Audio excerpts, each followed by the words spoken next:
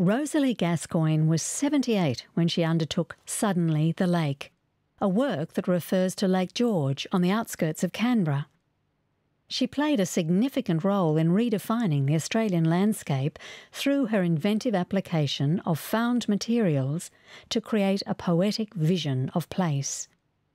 The strength of her art emerges from her precise powers of observation and her capacity to distill deeply felt experiences of natural phenomena. The course of Gascoigne's artistic life is an inspiration for those who are only able to devote themselves to their chosen calling late in life. She first exhibited her art in 1974 when she was in her 50s.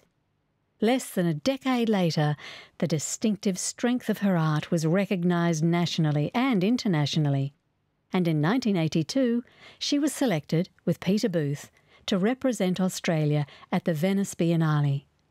For three decades of her adult life, Gascoigne had been a wife and mother.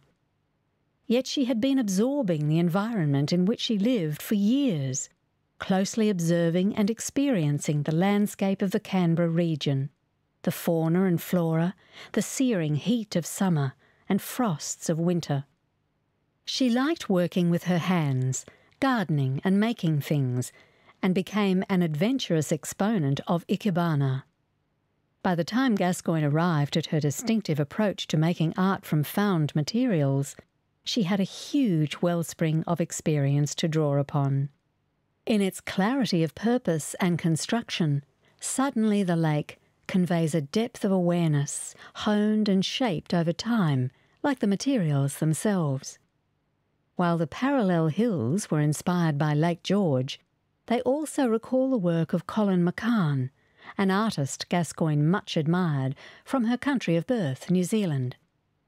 Yet, in contrast to the darker intensity that characterises much of McCahon's art, Gascoigne brings a down to earth sensibility to her choices of materials, as well as a distinctive lyrical sensibility a poetic distillation of land, water, sky, and air.